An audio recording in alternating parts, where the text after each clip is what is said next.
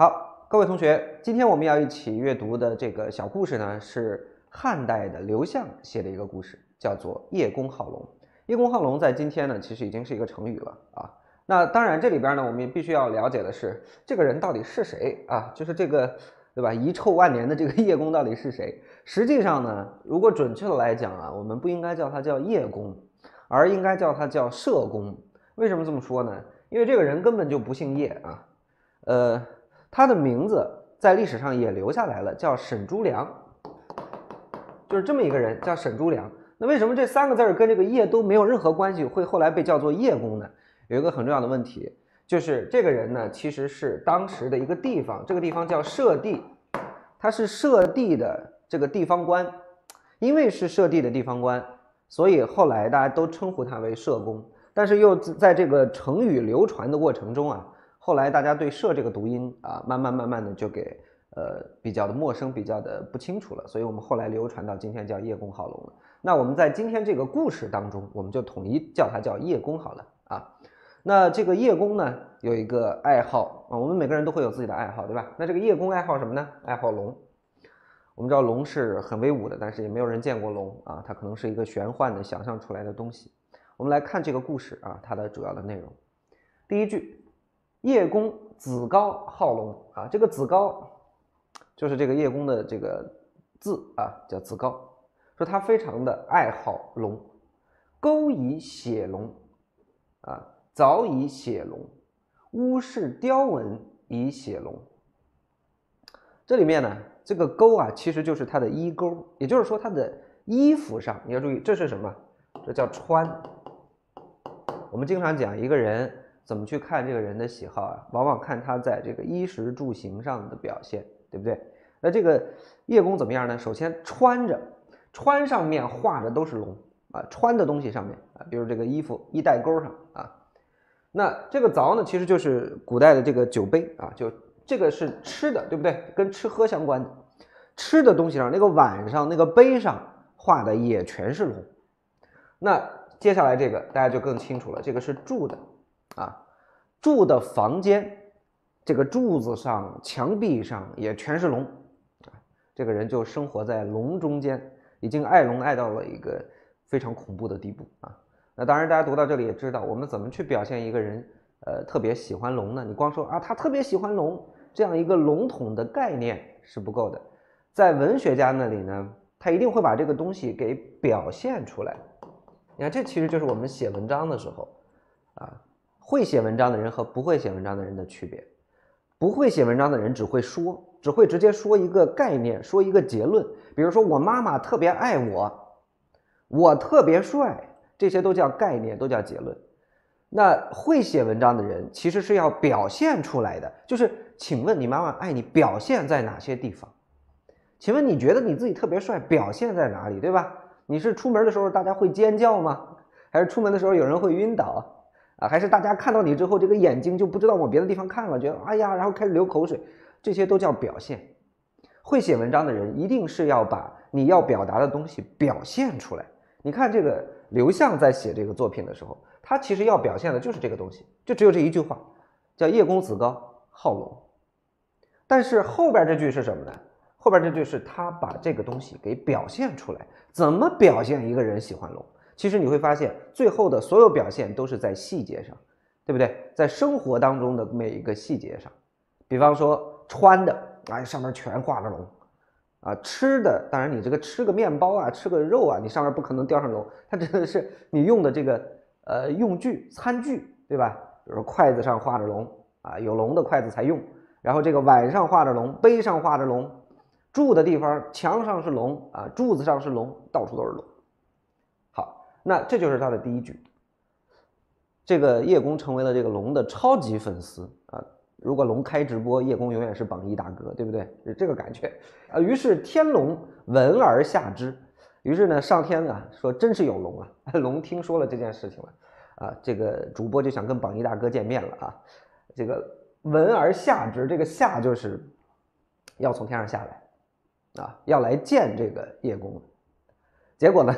这一见面坏了，说窥头于友，意味于堂。这个窥就是偷偷的看的意思，窥这个字呢，一般有两个啊，在古代有两个意思，一个意思表示偷偷的看，啊，还有一个意思呢，表示从缝里看。那这个地方呢，就是说他的头啊，就从这个窗户这里转过来了啊，就是当他下来的时候，他来到了这个叶公的房子，估计看到这个房子，这个龙当时还挺开心的，因为房子里画的都是自己，对不对？画的都是龙啊。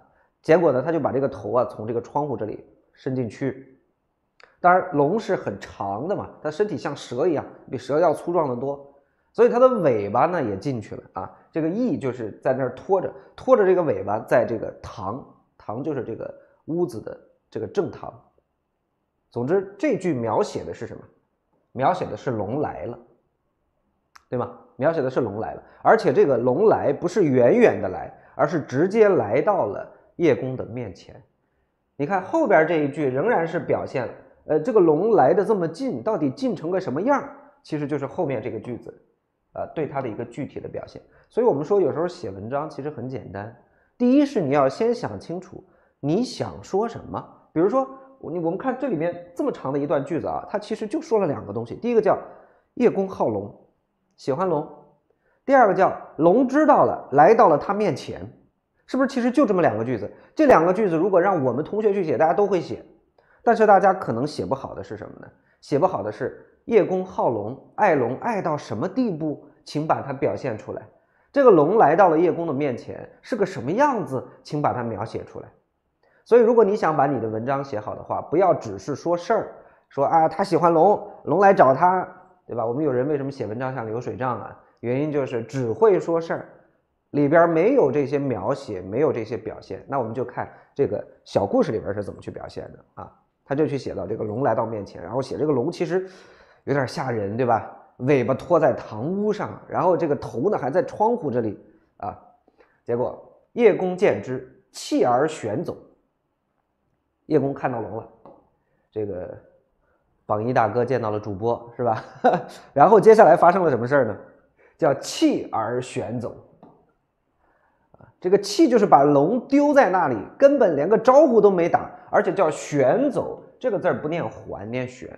呃，你们将来还会学到一篇文章叫《扁鹊见蔡桓公》，扁鹊见蔡桓公当中也有这个字，说扁鹊最后一次见到蔡桓公的时候，就是旋走，一句话不说，扭头就跑。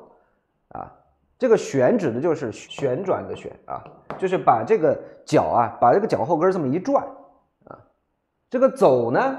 不是我们今天所说的走路，在文言文里面呢，这个走就是跑的意思。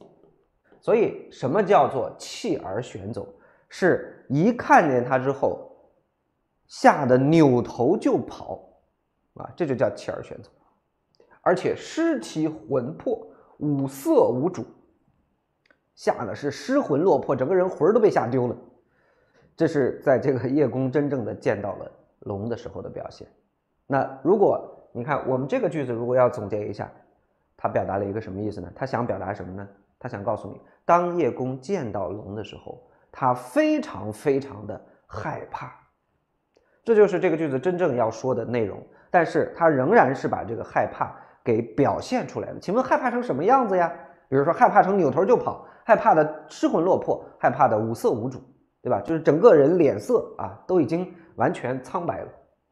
是叶公非好龙也，好服四龙而非龙者也。最后这一句就不再是这个故事了，而是对这个故事做出的一个评价。也就是说，其实前面这个故事已经讲完了。我们先不说这个评价，我们先回过头来看前面讲的这个故事，他讲了个什么事儿呢？如果我们今天用最不会写文章的人的语言来说，就三句话。第一句话叫叶公特别喜欢龙。对吧？到处都是龙啊，这是第一句话。第二句话叫做龙知道了很感动，亲自来找他。第三句话叫叶公见到真的龙之后，吓得扭头就跑，十分害怕，对吧？其实就讲了这么三件事儿，叫好龙、见龙、怕龙。有没有发现，其实这个故事非常简单，就这么三个不同的步骤：好龙、见龙、怕龙。那。这个为什么能写这么长呢？刚才讲了，有个很重要的原因是，请把它的细节加上。所以各位同学，你们要记住，如果要把文章写得好，一定要有细节。你说我喜欢这个，喜欢成什么样？用细节告诉我。我见到龙了，龙什么样子？用细节告诉我。我很害怕，害怕成什么样子？用细节告诉我。你看，我们哪怕是读一个小小的古代寓言故事，其实依然能够学到非常多的写作方面的技巧。当然，除了写作之外，我们回到这个故事本身，这故事到底告诉我们什么呢？今天我们这个主题啊，叫做寓言有理，也就是说，有很多很多的故事背后，其实是有很多人生的道理的，做人的道理，甚至是你生活、学习等等等等各方各面的道理。那叶公好龙到底说明了一个什么道理？为什么这个明明那么喜欢龙的人，当见到真的龙的时候，怕成了这个样子？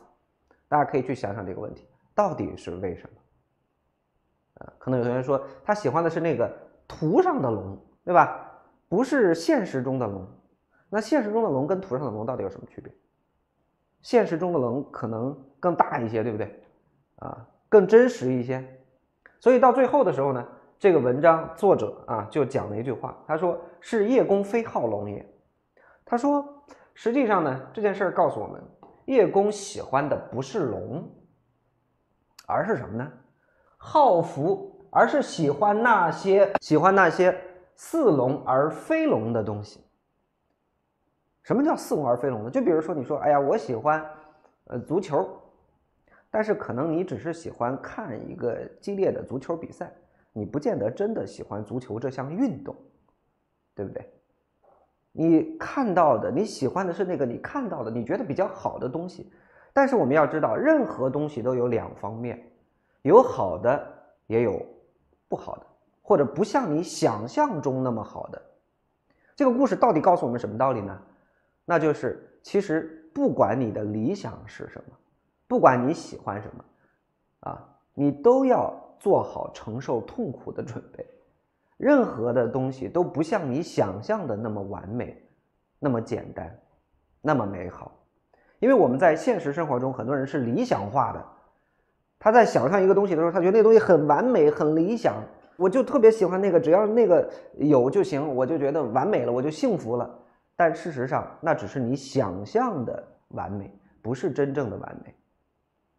我们在实现任何的目标的过程当中，都会发现会有困难，而且哪怕你真的达到了那个理想，达到那个目标，你会发现好像并非像你想象的那样完美。对吧？这其实就是叶公好龙背后告诉我们的一个故事。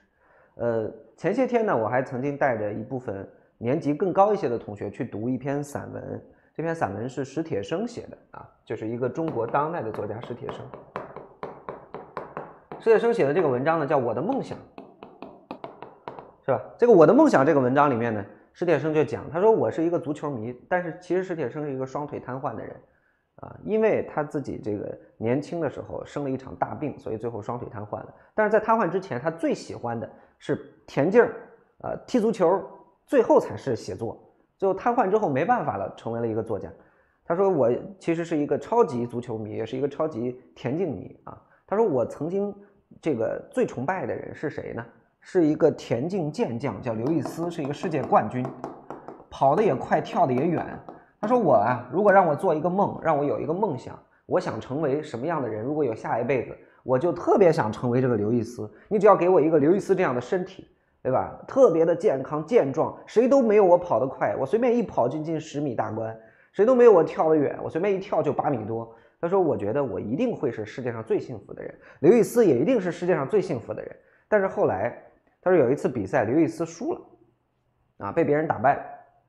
呃，他仍然是发挥的，在他的这个生涯、职业生涯当中是最好的，但是有人超过了他。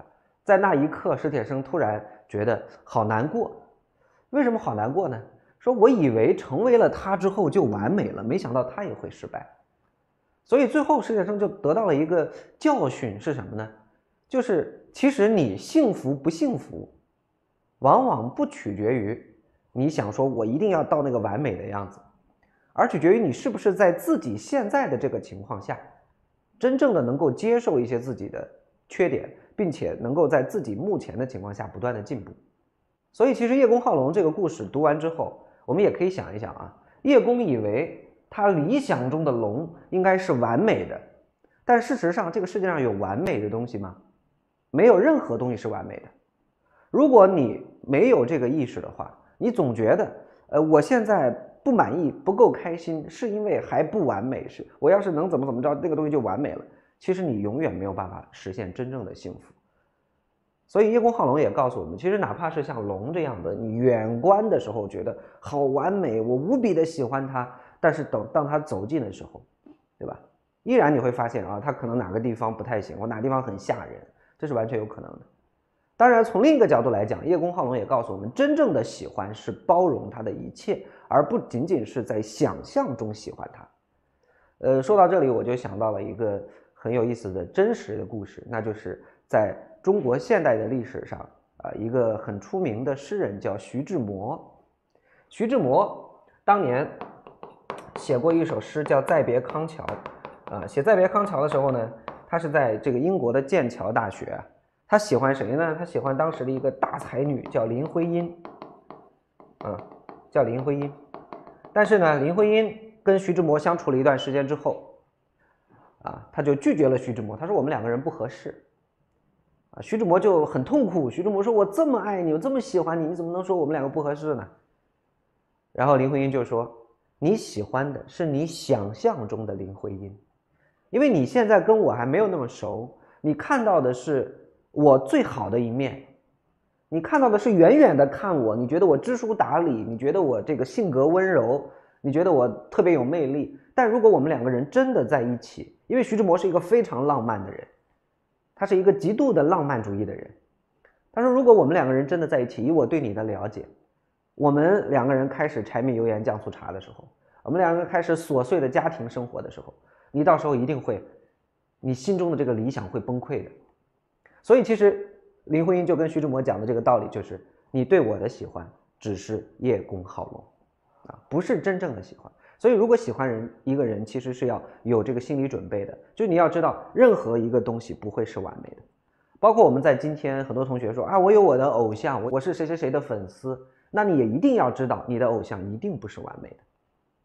虽然你看到的可能是完美的，如果你没有这个心理意识的话，当某一天你这个偶像有一点点的让你觉得，呃，或者有一点点的这个负面的消息传出来的时候，你就崩溃了。甚至有时候你见到他的时候，你觉得哎呀不要啊，你不是我心目当中的那个人。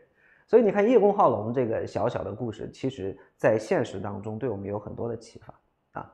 好，这就是我们今天要读的第一个小故事，叫做叶公好龙。